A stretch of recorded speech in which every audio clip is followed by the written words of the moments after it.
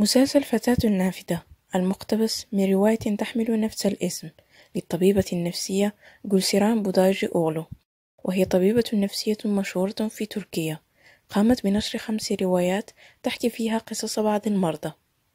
أول رواية لها كانت رواية داخل العملة وقد نشرت سنة 2004 التي اقتبس منها معظم قصص الغرفة الحمراء. بعدها قامت بنشر رواية الألوان الثلاثة للخطيئة سنة 2008 التي اقتبست منها قصة مليحة وابنتها ملك. ثم رواية عد للحياة التي صدرت سنة 2011 واقتبس منها مسلسل التركي الشهير عروس إسطنبول وقصة عليا من الغرفة الحمراء.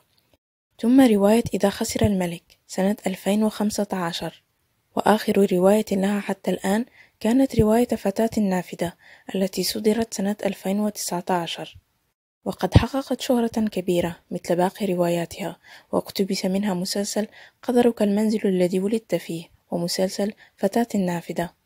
بالرغم من تواجد العديد من الأحداث في المسلسل وكانت مختلفة عما ذكر في الرواية لكن المسلسل في الأصل كان يحتوي على أحداث كثيرة مشابهة للأحداث الحقيقية في الواقع. كما كان الجميع يتساءل عن الأشخاص الحقيقيين لهذه القصص. كون الكاتبة تقوم بتغيير أسماء الشخصيات في الحقيقة وتعطيها أسماء مغايرة في الرواية مع عدم نشر جميع الأحداث فكان من الصعب التعرف عليهم. لكن بالنسبة لرواية فتاة النافذة لم يكن من الصعب جدا التعرف على أصحاب القصة الحقيقيين لكونهم ذوي شهرة كبيرة في تركيا. قد قام أغلبية القراء والمشاهدين بربط عائلة كور أوغلو من الرواية والمسلسل بعائلة أوزان الشهيرة في تركيا لشدة التشابه الكبير بينهم. ومثل ما ذكر في الرواية والمسلسل معا فقد كانت عائلة أوزان غنية وصاحبة نفوذ كبير ومحط أنظار جميع الصحف والمجلات والإعلام. حسب الإدعاءات فإن شخصية سيدات في الحقيقة هو رجل الأعمال التركي الشهير جيم أوزان ابن كمال أوزان. بينما شخصية نالان في الحقيقة هي ألارا كوتشبي ابنة المتسابق الراحل رينش كوتشبي. جيم من عائلة بوسنية الأصل. رجل أعمال شاب وسيم ومتهور. تم تزويجه بالقوة من طرف والده إلى فتاة تشبه الأميرات. جيم لديه أخ أكبر منه اسمه هاكان وأخت أكبر منه كذلك. تماما كما في مسلسل فتاة النافذة لكن عكس الرواية حيث أنه بالرواية سداد يكون الابن الأكبر بين إخوته. بسبب ضغط من والده أصبح جيم رئيس حزب الشباب بينما ألارا كوتشبي كانت مهندسة معمار داخلي مثل المسلسل والرواية تماما.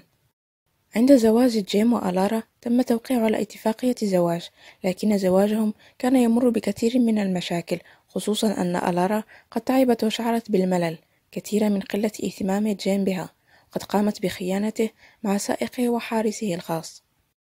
بسبب بعض المشاكل التي واجهها جيم كان مضطرا إلى الهروب من تركيا واللجوء إلى فرنسا والعيش هناك في باريس. وقد اكتشف خيانة زوجته له من طرف فريق الأمن الخاص به عندما كانوا يجهزون لتهريبه خارج البلاد. عندما علمت جيم بالأمر ونظرا لتوقيعهم على اتفاقية زواج طلقت جيم ألارا دون إعطائها فلسا واحدا حتى. في تلك الفترة انهارت ألارا ودخلت في مرحلة اكتئاب. عكس الرواية التي ذكر فيها أن نالان يعني ألارا قد طلبت الطلاق بعد أن وقعت في حب سائق ورفضت الحصول على أي شيء من زواجها وأنها قد دخلت مرحلة اكتئاب بعد أن أنجبت طفلها في وقت مبكر وتوفي بعد ثلاثة أيام من ولادته. وبعد طلاقها من سيدات يتزوج امرأة أخرى ويرزق بطفلين بينما في الواقع ألارا وجيم لديهم طفلين.